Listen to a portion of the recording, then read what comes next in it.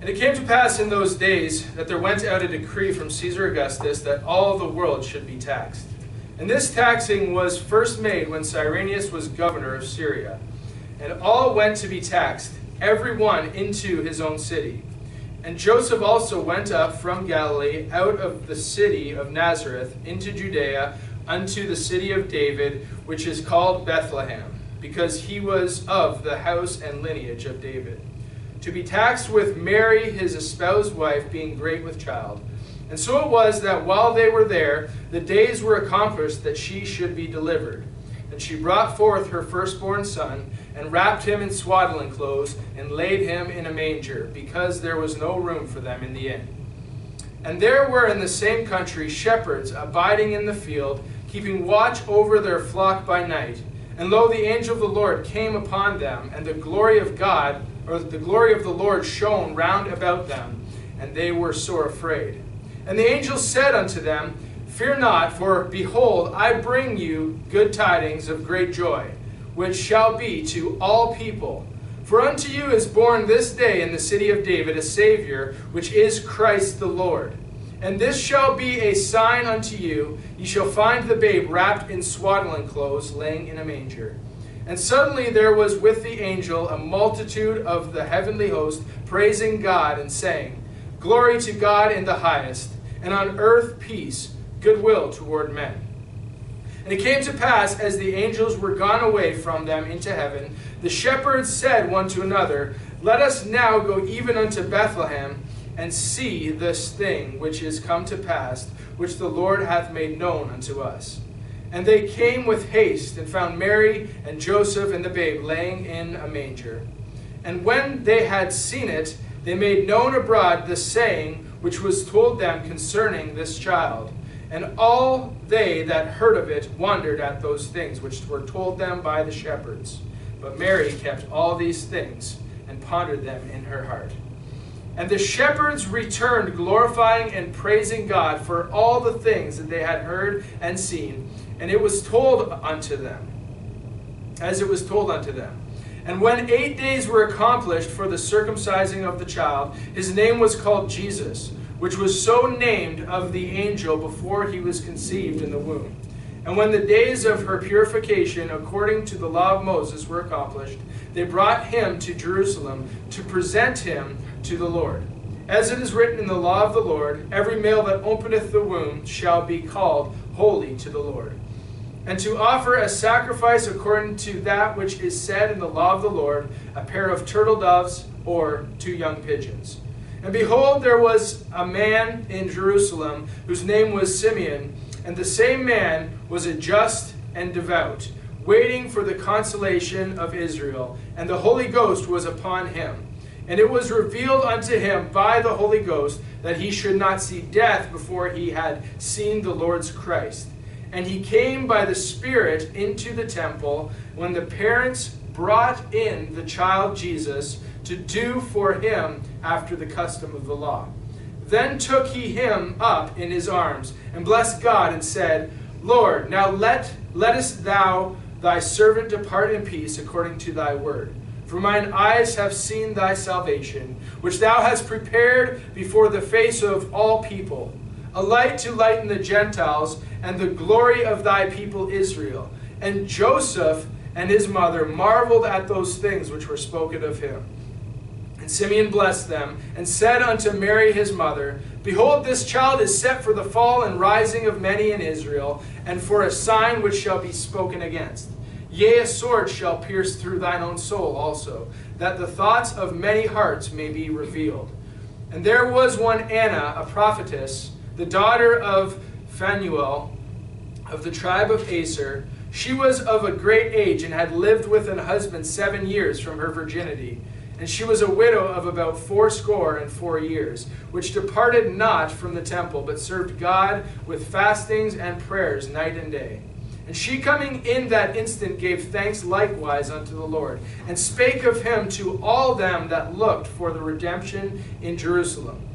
And when they had performed all things according to the law of the Lord, they returned into Galilee to their own city, Nazareth. And the child grew and waxed strong in spirit, filled with wisdom. and the grace of God was upon him. Now his parents went to Jerusalem every year at the feast of the Passover, and when he was twelve years old, they went up to Jerusalem after the custom of the feast. And when they had fulfilled the days as they returned, the child Jesus tarried behind in Jerusalem, and Joseph and his mother knew not of it. But they, supposing him to have been in the company, went a day's journey, and they sought him among their kinfolk and acquaintance. And when they found him not, they turned back again to Jerusalem, seeking him. And it came to pass that after three days they found him in the temple, sitting in the midst of the doctors, both hearing them and asking them questions. And all that heard him were astonished at his understanding and answers. And when they saw him, they were amazed. And his mother said unto him, Son, why hast thou thus dealt with us? Behold, thy father and I have sought thee sorrowing. And he said unto them, how is it that ye sought me? Wist ye not that I must be about my father's business? And they understood not the saying which he spake unto them. And he went down with them, and came to Nazareth, and was subject unto them. But his mother kept all these sayings in her heart. And Jesus increased in wisdom and stature, and in favor with God and men. Again, we're talking today about glory to God and on earth peace. We find in the story the shepherds, the ones that first have that revelation that the Christ child would come. And here the announcement that they have heard comes to them by hands of an angel, which said unto them in verse 10 Fear not, for behold, I bring you good tidings of great joy, which shall be to all people. And I love that because you see that in verse 10, and you also see that little word there in verse 31, which thou hast prepared before the face of all people. That was Simeon there crying out about the salvation that he had just saw. All people were to receive these good tidings. All people were to receive of this salvation. Salvation. Continuing in verse 11, it says, For unto you is born this day in the city of David a Savior, which is Christ the Lord. And this shall be a sign unto you. Ye shall find the babe wrapped in swaddling clothes, laying in a manger. And suddenly there was with the angel a multitude of heavenly hosts, praising God and saying, Glory to God in the highest, and on earth peace, goodwill toward men. And so the shepherds receive this great vision where they see the angel proclaiming the good tidings that are for all. And as they receive it, they're astonished, and even the more so as there's a great heavenly host crying out, Glory to God in the highest, and on earth peace and goodwill toward men.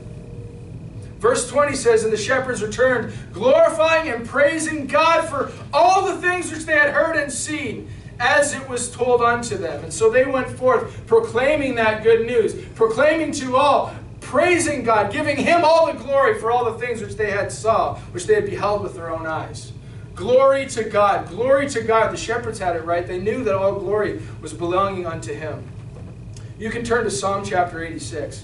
As you do, I want to read what it says in Ephesians chapter 1.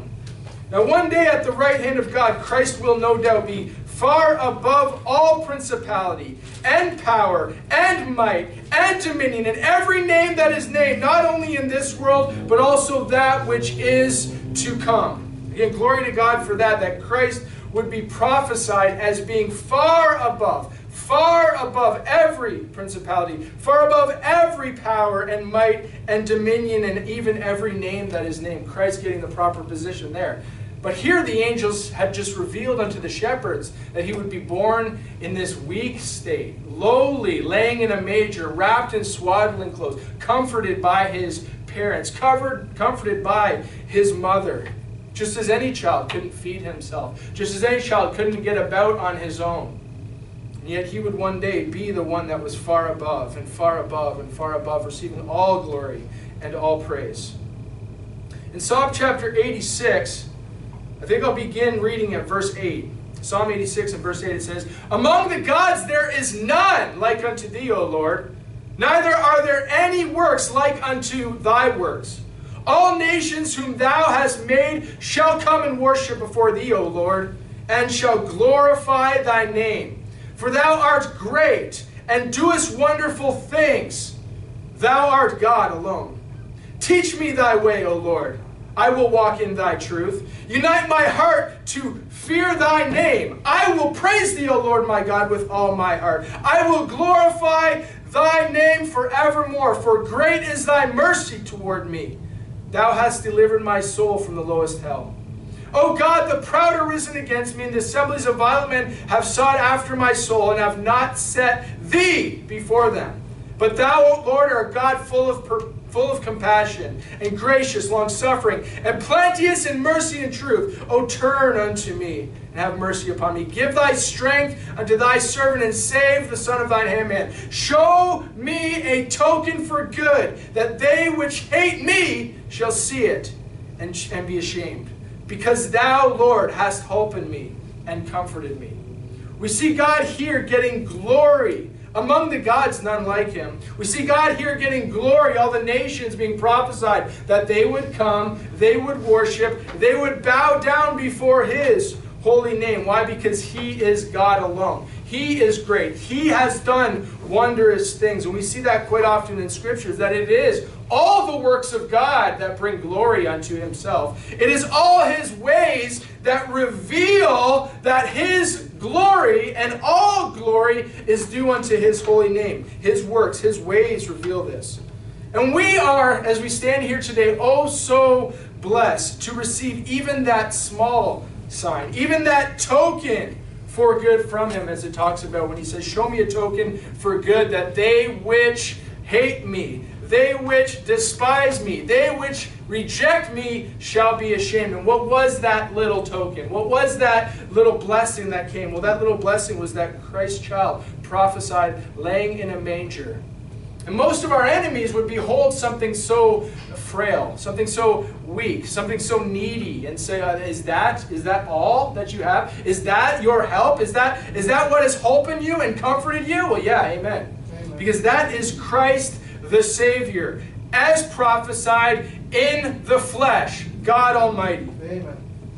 Turn to John chapter 12. See, the thing about our Lord is that He receives, rather, it's interesting, He, he retrieves the greatest glory in fulfilling His own purpose and His own plan. This is where God really glorifies Himself and lifts Himself up.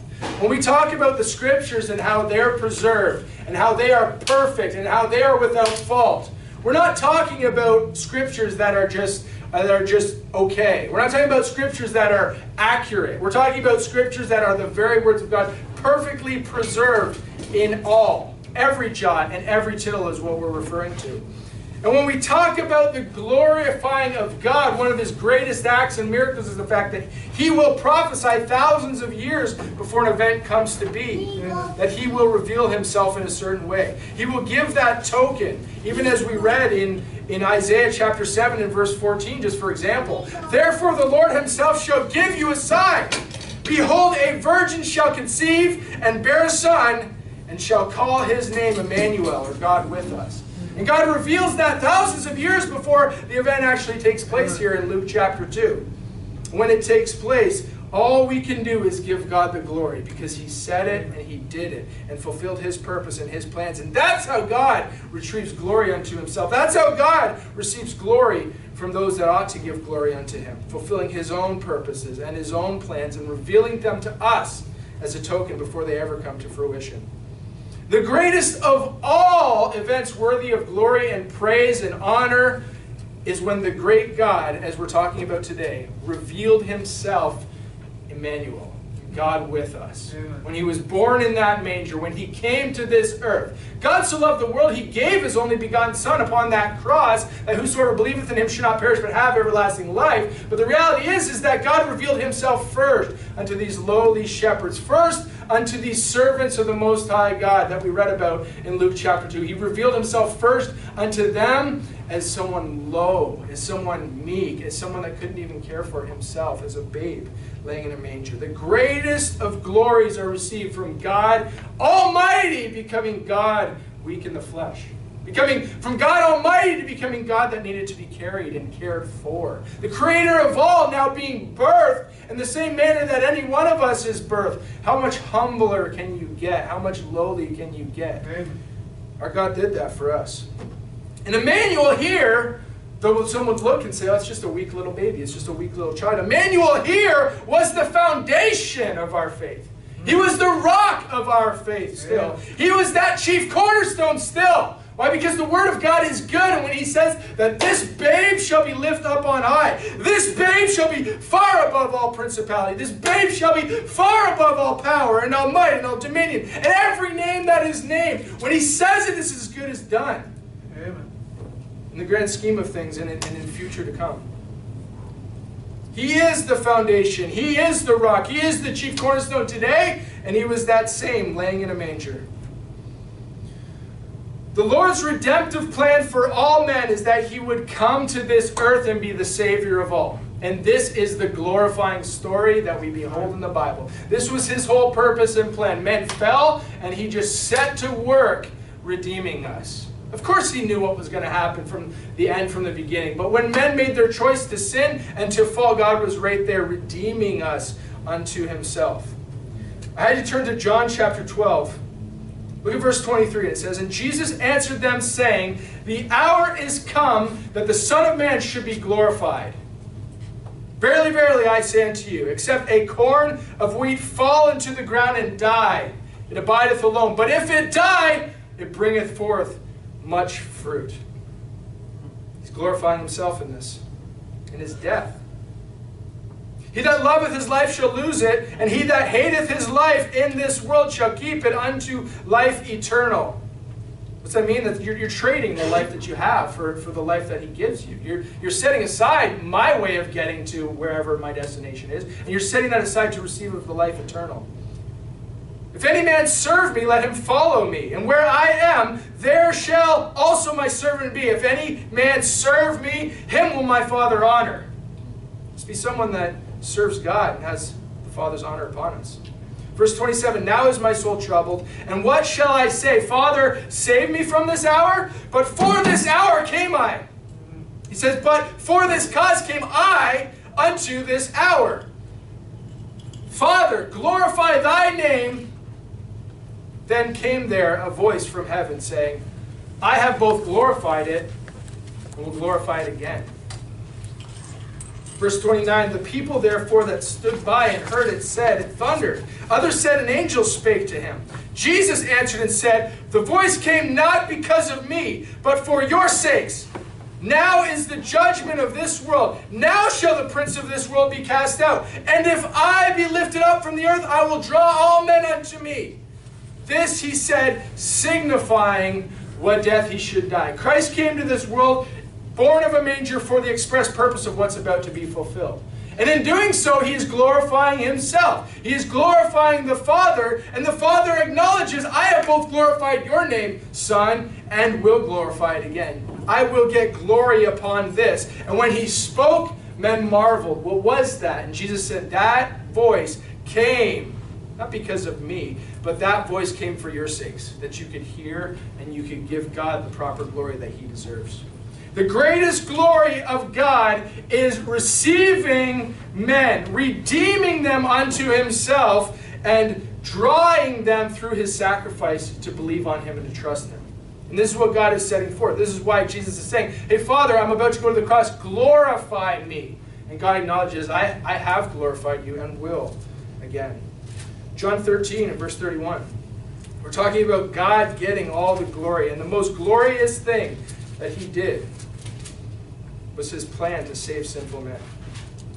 John chapter 13 and verse 31 says, Therefore, when he was gone out, Jesus said, Now is the Son of Man glorified, and God is glorified in him. If God be glorified in him, God shall also glorify him in himself, and shall straightway glorify him. What's he talking about here?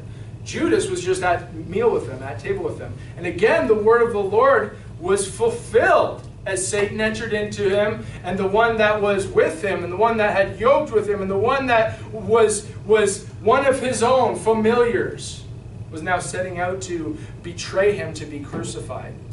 And Jesus said, Hey, the Son of Man is glorified, and God is glorified. We're glorified together in this very act. John chapter 17. Jesus continues in this vein, talking about receiving glory in his redemptive plans. John chapter 17, beginning in verse 1. These words spake Jesus and lifted up his eyes to heaven and said, Father, the hour is come. Look, we're getting closer and closer to that hour, and here it is. Glorify thy Son, that thy Son also may glorify thee. As thou hast given him power over all flesh, that he should give eternal life to as many as thou hast given him. And this is life eternal, that they might know thee, the only true God, in Jesus Christ, whom thou hast sent. I have glorified thee on the earth. I have finished the work which thou gavest me to do. Remember that verse? Glory to God in the highest, and on earth, peace, goodwill toward all men. And Christ says, I have glorified thee on the earth. Your peace comes. I have finished the work which thou gavest me to do. And now, O Father, glorify thou me with thine own self, with the glory which thou, which I had with thee before the world was. I have manifested thy name unto the men which thou gavest me out of the world. Thine they were, and thou gavest them me. And they have kept thy word. Now they have known that all things whatsoever thou hast given me are of thee. For I have given unto them the words which thou gavest me, and they have received them, and have known surely that I came out from thee, and they have believed that thou didst send me. I pray for them. I pray not for the world, but for them which thou hast given me, for they are thine, and all mine are thine, and thine are mine, and I am glorified in them. The transfer of glory comes down as God glorifies the Son, and then those that are in Christ, whom God opened the door of salvation to when he set forth the prophecies, when he set forth the events that are about to take place, when he said, Whosoever believeth in me should not perish. God opened that door so that as many as have received the word, as it says in verse 8, and have believed that they were that Jesus was sent of the Father. They have believed the promises of old that were made regarding Christ and what was about to happen. The door was open, and now God is going to be glorified in them. Why? Because they have believed, and because his redemptive plan had been fulfilled. When is his redemptive plan fulfilled? When does he get the most glory? When people look and live, my brother, live. When they look to Jesus Christ and live, his purposes are fulfilled and he gets glory. He's glorified in receiving us, and so he sends peace. And so he sends peace on earth. John chapter 14 and verse 27. John 14 and verse 27. John 14 and verse 27 says, Peace I leave with you my peace I give unto you. Not as the world giveth, give I unto you. Let not your heart be troubled, neither let it be afraid.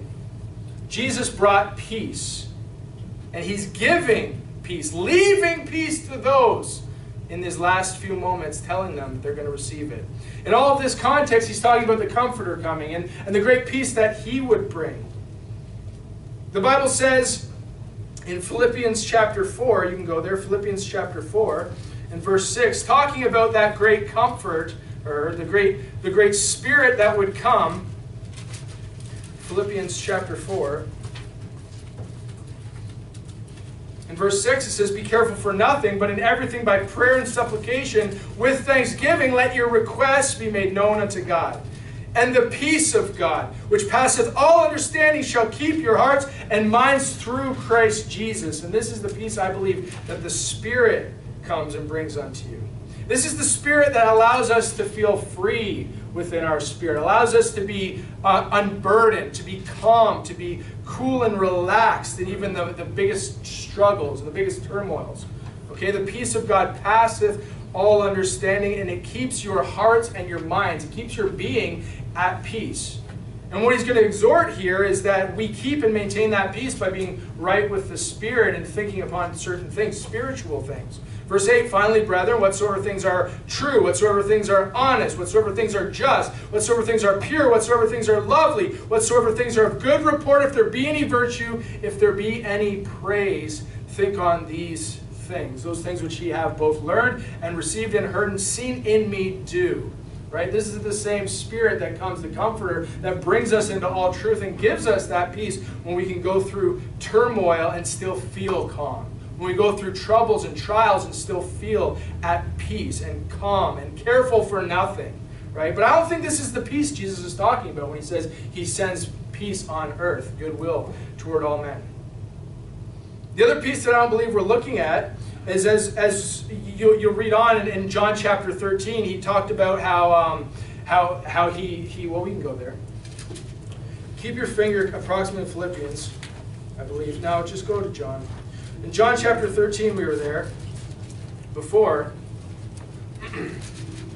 And Jesus had just said he was glorified in the Son. And then he says, Little children, yet a little while I am with you. Ye shall seek me. And as I said unto you, this is verse 33, whither I go ye cannot come. And now, so now I say to you.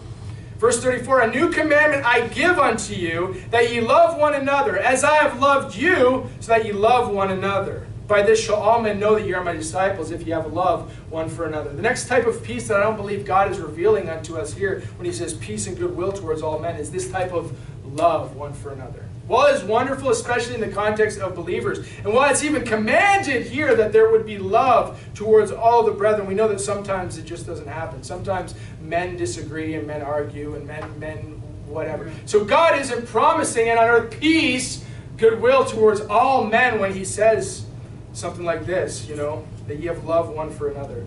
If you were to look in Matthew chapter 10, go back a few Gospels, Matthew chapter 10, we said that he's not, he's not revealing unto us or sending unto us through Christ the, the peace of mind, that calmness. Now I'm saying he's not sending peace that would have everybody just sing kumbaya and just get along all the time. He's not sending that type of peace in this message. In Matthew chapter 10 and in verse 34, the Bible says, Think not that I am come to send peace on earth.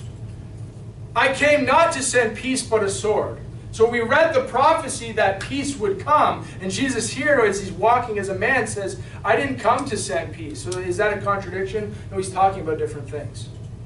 Verse 35 says, For I am come to set a man at variance against his father, and the daughter against her mother, and the daughter in law against her mother in law. And a man's foes shall be they of his own household. He that loveth father or mother more than me is not worthy of me. And he that loveth son or daughter more than me is not worthy of me. And he that taketh not his cross and followeth after me is not worthy of me. He that findeth his life shall lose it, he that loses his life for my sake shall find it. What's he saying? Count the cost. You're following Christ, be willing to lose it all. Why? Because Jesus, when he enters in and his word enters in, it does not bring peace but a sword. It divides, it cuts, it removes. Even within your own self, the Bible says of the sword of the Spirit that divides soul and sunder, right? It divides the joints and marrows and a discerner of the thoughts and intents of the heart. Even within my own self, there's strife. There's a part of me that wants nothing to do with Christ. And so when the word enters in, it cuts, it removes, it divides, it separates those things.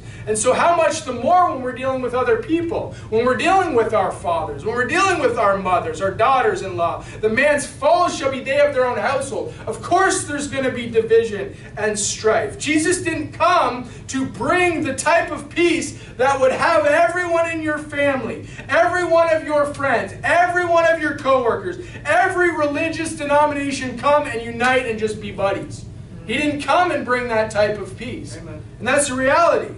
When you're following Christ, you need to be willing to be at variance one with another. Because if I'm serving this word with all my heart, soul, mind, strength, I'm going to be at variance with my own flesh.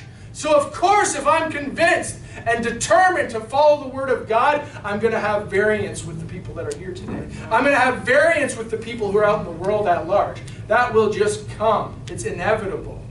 And so Christ didn't come so that I can get along with every single Roman Catholic and be close with them. He didn't come so that I can get along with every single United Church brethren and just be close with him. He didn't come so that my family would be close with me, my friends would be close with me. He didn't come so that so that Reformed Baptists would be close to me. He didn't come so that so that you name the group would be close with me. He came to set variance one to another. There's going to be divisions. There's going to be there's going to be strife. There's going to be turmoil.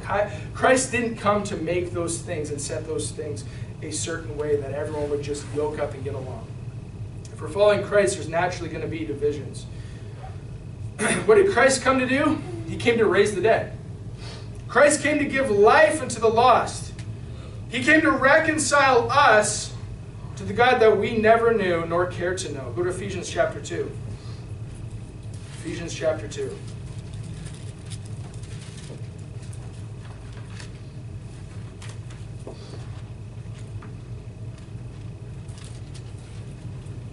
Ephesians chapter 2, verse 1, the Bible says, And you hath he quickened who were dead in trespasses and sins, wherein in time past you walked according to the course of this world, according to the prince of the power of the air, the spirit that now worketh in the children of disobedience, among whom also we all had our conversation in times past, in the lust of our flesh, fulfilling the desires of the flesh and of the mind, and were by nature the children of wrath, as were others. So naturally, we are the children of wrath. Naturally, we were walking in the way, in the course of this world. And it was that man that was quickened. That man that was dead in trespasses and sins, Christ came to raise. Verse 4 says, But God, who is rich in mercy, for his great love wherewith he loved us, even when we were dead, hath quickened us together with Christ. By grace are you saved and hath raised us up together and made us to sit together in heavenly places in Christ Jesus, that in the ages to come he might show the exceeding riches of his grace and his kindness toward us through Christ Jesus. For by grace are ye saved through faith, and that not of yourselves is the gift of God, not of works, lest any man should boast. For he, we are his workmanship, created in Christ Jesus unto good works, which God hath before ordained that we should walk in him. In mercy, by his great love, through extended grace received by faith, we are his work. Okay? Christ is doing the work, and this is the order that he does it. He extends it to the dead, to those that don't want anything to do with him, to those that have no need for love him. And how do they get a hold of him? The word of God entereth in. Once they hear the word of God, faith cometh by hearing. When they've heard it, they have the ability to, to, to react with faith and respond with faith unto God. In mercy, by the great love that he had when he sent his own son, through that extended grace of something that we don't deserve, he opened the doors that we could receive faith when we received that engrafted word, which is able to save our soul. This is what Christ came to do. Verse 11, Wherefore remember that ye being in time past Gentiles in the flesh who are called uncircumcision, by that which is called circumcision in the flesh made by hands, that at that time ye were without Christ, being aliens from the commonwealth of Israel, and strangers from the covenants of promise, having no hope, and without God in the world. But now, in Christ Jesus, ye who are sometimes afar off, are made nigh by the blood of Christ. So we were once without, and now we're within. We were once aliens and strangers and foreigners, but now we are of the commonwealth. Why? By the blood of Him, by His sacrifice. And He gets all the glory for that. He's the one that did it. He's the one that performed these great works, as we were talking about in Psalm chapter 86. He's the one, as Jesus was prophesying and walking towards that cross, said that he would be glorifying his Father, even as his Father is glorifying him. And in him, we too would be glorified by this act. Once we were without, now we are within. It's all by the blood of Jesus Christ. That Christ child that token of good that came unto us. The Savior that was born in that manger was, was there to the end that the enmity would be broken down between us and spiritual Israel. That the enmity would be broken down between us and ultimately the Lord God. He is our peace, it says in verse 14. For he is our peace who hath made both one and hath broken down the middle wall of partition between us, having abolished in his flesh the enmity. And here's the description, here's the definition of the enmity. What is it? Even the law of commandments contained in ordinances, for to make in himself of twain one new man, so making peace. How are we going to receive peace? How are we going to have the enmity or the or the or the contrariness or the fact that we are enemies of God at this time? Why? Because of the law, the commandments contained in ordinances. How are we going to break that down? By the blood of Jesus Christ. Verse 16 says, And that he might reconcile both unto God in one body by the cross, having slain the enmity thereby. Christ had to come and slay the enmity. What's the enmity? The law of commandments contained in ordinance. How did he slay them? By keeping them in their fullness, in their entirety, doing that thing that we couldn't do. He came as a babe in the manger and he lived just like we all live. We even see at the time of 12 there was something very different about this child. He said, he said, you know, Mom, I appreciate that you called Joseph my father, but the reality is, is I need to be about my father's business. What was the Father's business? To glorify Himself and be glorified that we could be glorified. Glory to God in the highest and on earth peace, goodwill toward all men. He wanted us to have peace. And how did He do that? He is our peace. He abolished in His flesh the enmity, even the law of commandments contained in ordinances, by slaying them reconciling both to God in one body by slaying the law and commandments contained in ordinances, which the Bible describes were contrary unto us. The Bible describes that these laws were our schoolmaster to simply bring us to Christ. He took them out of the way, nailed them to the cross, and so doing so, united both in one. Verse 17 says, And came and preached peace to you that were far off. And how far off were you? when you first heard that gospel message? How far off the, uh, of the righteous path? How far off were the right way of salvation were you when somebody came and preached that unto you? When the word came to you and spoke to your heart and revealed unto you? Christ came and preached peace unto you which were afar off and to them which were nigh. Who's that? That's Jew and Gentile. That's the whole world. That's everybody. That's all the world. Verse 18, For through him we both have access by one Spirit into the Father. Now therefore ye are no more strangers and foreigners, but fellow citizens with the saints and of the household of God, who are built upon the foundation of the apostles and prophets. That's the word of God. That's, that's the King James Bible we have right here for the English speaker. Built upon the foundation of the apostles and prophets, Jesus Christ himself being that chief cornerstone in whom all the building fitly framed together groweth unto an holy temple in the Lord, in whom ye also are builded together for an habitation of God through the Spirit. We have access, both Jew and Gentile, bond and free, to have access to, everyone now has access to the revelation of the Word of God, which once it enters in, right? As it says in verse 20, we're built upon the foundation of the apostles and the prophets, Jesus Christ being the chief cornerstone, Jesus dying on the cross, shedding his precious blood to break down the enmity of the law that was having us in transgression against God himself. We have access now in Christ through his redemptive plan. And he gets all the glory for that.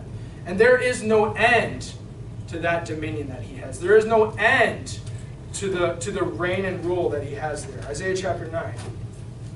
I can read Isaiah chapter 9 if you want to go to 2 Corinthians 5. Isaiah chapter 9 and verse 6. For unto us a child is born, and unto us a son is given, and the government shall be upon his shoulder, and his name shall be called Wonderful, Counselor, the Mighty God, the Everlasting Father, the Prince of Peace. Of the increase of his government and peace there shall be no end upon the throne of David and upon his kingdom to order it and to establish it with judgment, with justice from henceforth, even forever. The zeal of the Lord of hosts will perform this, and therefore who gets glory? It's the zeal of God that is performing this. It is the zeal of God that is birthing that child. It is the zeal of God that is bringing apart that increase of government and peace, which there shall be no end. So how can it be that peace of mind that it's talking about? It can't be. How can it be that peace where we all just get along and sing kumbaya? It can't be. The peace is the breaking down of the enmity so that we can be reconciled unto the Father and in doing so become a part of the government and peace that shall be of no end. The government of peace that is established on the throne of David, ordered by Jesus Christ, established with judgment and justice from henceforth, even forever, and is sealed and pressed forward by the zeal of the Lord of hosts who shall perform it, who shall perform it.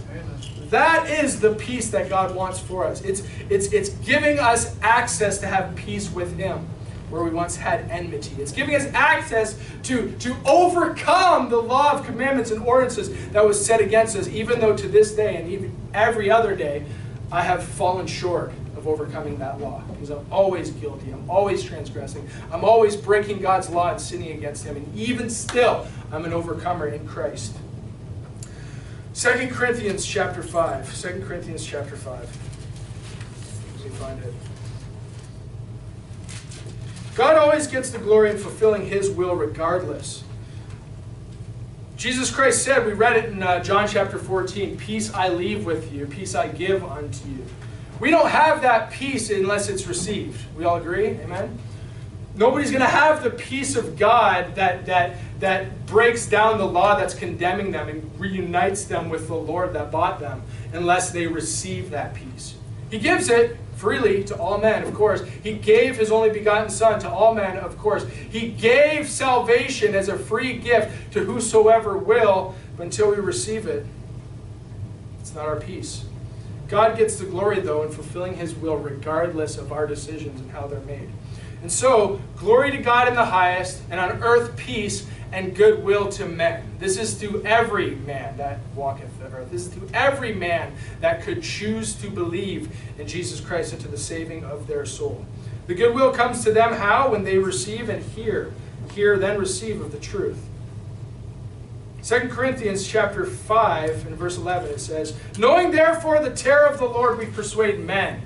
But we are made manifest unto God, and I trust also are made manifest in your consciences. So, knowing the terror of God, knowing that He deserves all glory and reverence and power and, and, and, and, everything to be lifted up above every name that is named, and one day will be, knowing the terror of God and that, and that His gift and His peace only comes from believing upon Jesus Christ, we persuade men knowing how he is powerful, knowing the terrors that he has awaiting for those that should choose to reject him.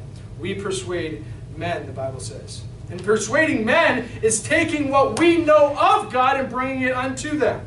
We convince men to receive him even as we have received him, and that peace that comes by having our enmity taken away, by having Jesus Christ shed his perfect precious blood upon that cross. By revealing, by having the word revealed unto us and believing and accepting by faith, even as it enters in. We convince men to receive Jesus and to receive that same peace that he leaveth unto all those who want it.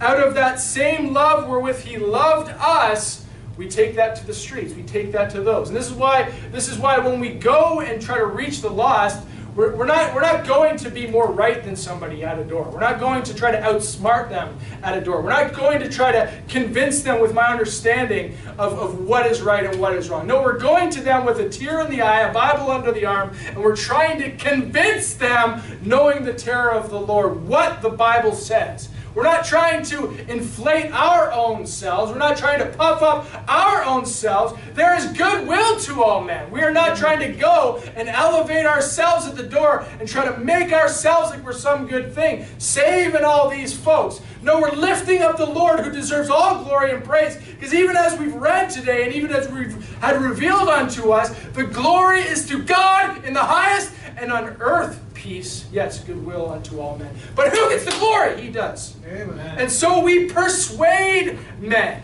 We don't try to provoke men to emulate. We don't try to we don't try to convince men. We don't try to coerce men. We don't try to lead them on a way to get some.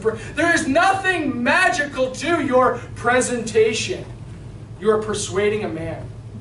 Like Brother Shane said earlier earlier last week, it could be just one verse. And how often does God stump you when you think you got your presentation all lined up? And it's just this one verse that you didn't think of until that moment that ends up convincing them that they are persuaded finally that they need to get saved. God is in the saving business. We're simply taking that goodwill to all men. Verse 14 For the love of Christ constraineth us, because we thus judge that if one died for all, then we're all dead. And isn't that true? We read that in Ephesians, right? We were all dead in trespasses and sins until that enmity was taken away, until the law of carnal ordinances was taken away, until he nailed those to the cross, shed his precious blood, so that we could be redeemed. And the Bible is just giving a plain truth here. If one died for all, then we're all dead. Do you know what that means? He died for all to save all. Give me a break, you Calvinist weirdos.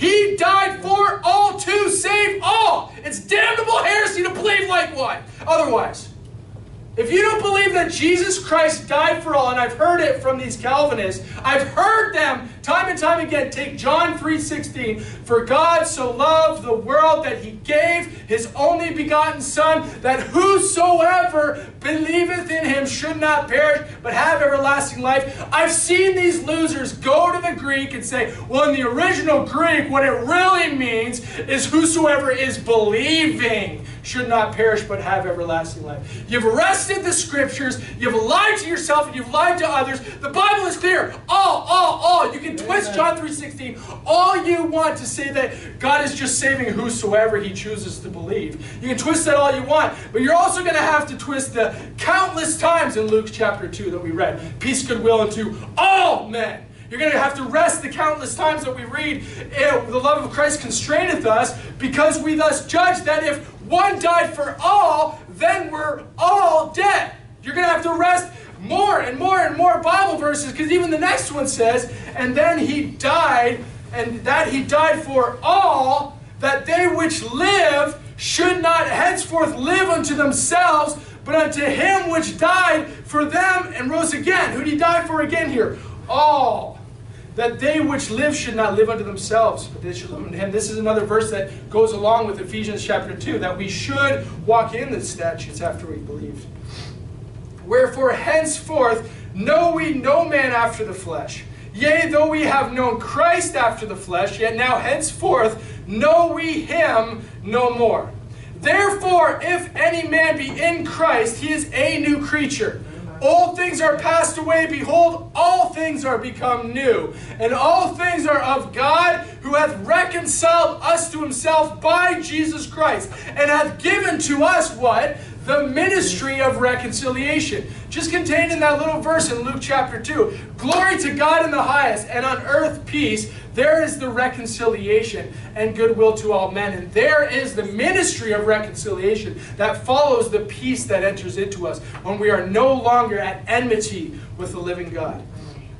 And God wants us to go and to show men how to be saved and to reveal unto them the scriptures so that they too can be the new creature where all things are passed away. Behold, all things are become new. And that's not a testimony of the changed life and the works that follow. Otherwise, Otherwise, there would be zero sins in my life after I'm saved. There would be zero thoughts in my head that are contrary to the Word of God. There would be zero of those things. The all things that are changed, the new creature is the one that was dead and is raised again. And you can't see him and you can't touch him, but he's there simply because I've believed on him. I have trusted in Jesus, and he has raised me anew. And that spirit and the flesh that now um, is in me at the same time are contrary the one to another, so that you cannot do the things which you are. There again is, is that, that a mindset that there is, in fact, a carnal Christian. Hey, every single day I have to choose whether I'm going to be a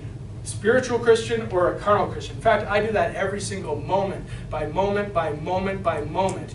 We are bringing good news. We are bringing glad tidings. We are bringing God glory when we reveal unto people the true scriptures. We were all dead. We were all in trespasses and sin. Christ died and became sin for us that we could be made the righteousness of God in him. And that's what it says in verse 19. To wit, that God was in Christ, reconciling the world unto himself, not imputing their trespasses unto them, and hath committed unto us the word of reconciliation. Now then, we are ambassadors for Christ, as though God did beseech you by us. We pray you in Christ's stead, be reconciled unto God. And we have that same desire when we go out. We pray in God's stead, person at the door. Will you be reconciled to God? We pray in Christ's stead as ambassadors for Christ. Will you be reconciled unto God? Will you believe in Him? Will you allow for the enmity to be put away? You're God's enemy right now. The law is condemning you to hell. Put that away. Believe in Him and trust in Him. And this is what happens when we go door to door to door. We bring goodwill to all men. For he hath made him to be sin for us who knew no sin, that we might be made the righteousness of God in him. Isn't that the greatest gloryful message ever? Isn't there so much glory to God in that message?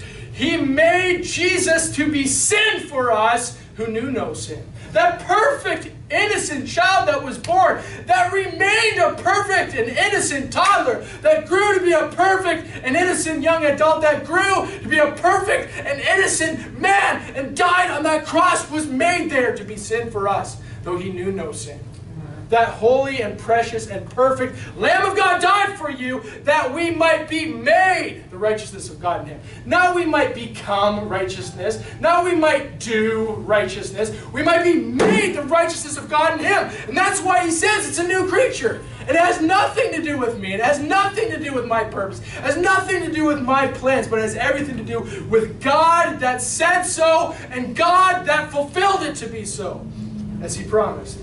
Isaiah chapter 40. Isaiah chapter 40. Find Isaiah chapter 40. And these are just a few of the times where God revealed his promise. Comfort ye, comfort ye, my people, he says. And how is he going to comfort us? By giving us redemption. Isaiah chapter 40. And in verse 28, it says, Hast thou not known, hast thou not heard, that the everlasting God, the Lord, the Creator of the ends of the earth, fainteth not, neither is weary? There is no searching of his understanding. He giveth power to the faint, to them that have no might, he increases strength. But they had no power, they had no might, and he increased it. He gave it to them, even as he's done to you when you were saved. Even the youth shall faint and be weary. In your own works, you might be young, you might be strong, you might be nimble and agile. You shall faint and grow weary. And the young men shall utterly fall. But they that wait upon the Lord shall renew their strength. They shall mount up with wings as eagles. They shall run and not be weary. They shall walk and not faint. God promising care and protection and oversight to those that are His own, as promised. He's done. Chapter 41, in verse 10, it says, Fear thou not, for I am with thee. Be not dismayed, for I am thy God. I will strengthen thee. Yea, I will help thee. I will uphold thee with the right hand of my righteousness. It's what sustains you throughout your days. It's what sustains you in your walk. That is what's going to sustain you when you breathe your last breath. His righteousness. You won't stand before God otherwise. Verse 13 says, For I, the Lord thy God, will hold thy right hand, saying unto thee, Fear not, I will help thee. Fear not, thou worm Jacob, and ye men Israel, I will help thee, saith the Lord, and thy Redeemer, the Holy One of Israel. Behold, I will make thee new sharp threshing instruments. And he continues on. God is providing for us. Himself as the Redeemer, as that Holy One of Israel. Isaiah chapter 44. And in verse 21, Isaiah chapter 44, and verse 21.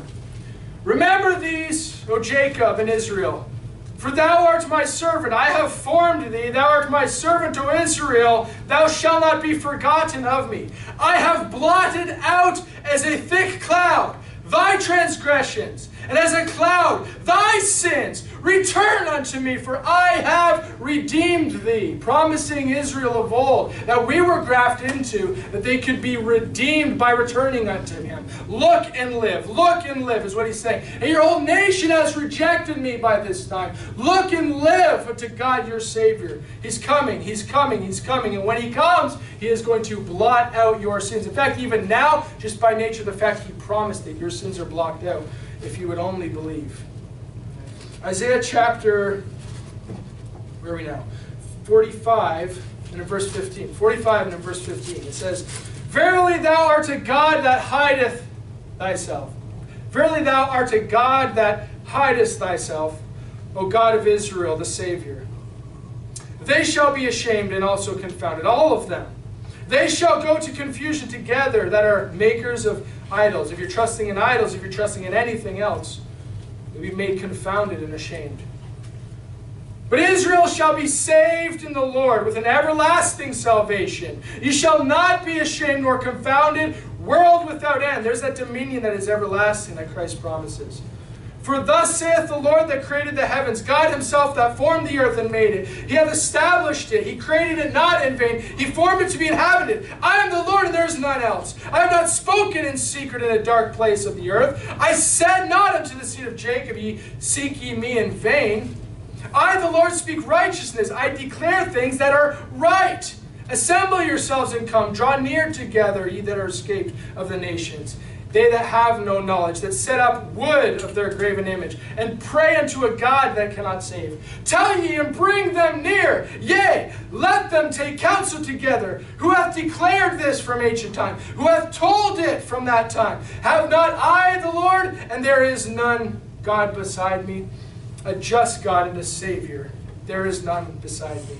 Look unto me, and be saved, all the ends of the earth. For I am God as there is none else. I have sworn by myself, the word is gone out of my mouth in righteousness, and shall not return, that unto me every knee shall bow, and every tongue shall swear. Surely shall one say, In the Lord have I righteousness and strength. Even to him shall men come, and all that are incensed against him shall be ashamed. In the Lord shall all the seed of Israel be justified, and shall glory. Where's the glory come? From being in the seed of Israel, from being in Christ, from being with that one that says, In the Lord have I righteousness and strength. And it says in verse 24, Even to him shall men come, and all that are incensed against him shall be ashamed. Who's this talking about? It's Christ that was promised to come. It's Christ that was promised to be that Savior, to bring everlasting salvation. He's good with his word. He's good in all points. Amen. Isaiah chapter 52. Isaiah chapter 52. And we know this. We heard an amen. God is good. God God, glory to God in the highest, and on earth peace, goodwill to all men. We all believe that God has, has given us peace who are saved. We are no longer at enmity with God. He's broken down the middle wall of partition between us. He's given us free course, free access unto the throne room of heaven. He's given us free course and free access just by believing and trusting in His Son. We all know this. We need to bring that goodwill to men. Isaiah 52 and verse 7. How beautiful upon the mountains are the feet of him that bringeth good tidings, that publisheth peace, that bringeth good tidings of good, that publisheth salvation. I like that it, it, it, links there peace being published and salvation being published. That saith unto Zion, Thy God reigneth. Thy watchmen shall lift up thy voice. With the voice together they shall sing. For they shall see eye to eye when the Lord shall bring again Zion. Break forth into joy. Sing together, ye waste places of Jerusalem. For the Lord hath comforted his people. He hath redeemed Jerusalem. The Lord hath made bare his holy arm in the eyes of all nations. And all the ends of the earth shall see the salvation of our God. That's where the goodwill comes to all men. We're simply bringing the glad tidings of the fact that God has bore his holy arm. He's lifted up his sleeve to show that he is strong, to show that he has strength, to show that he is a redeemer. And he's shown all nations of that. The whole world has no excuse but to know. And, and, and sadly, most of the world has rejected it, have they not?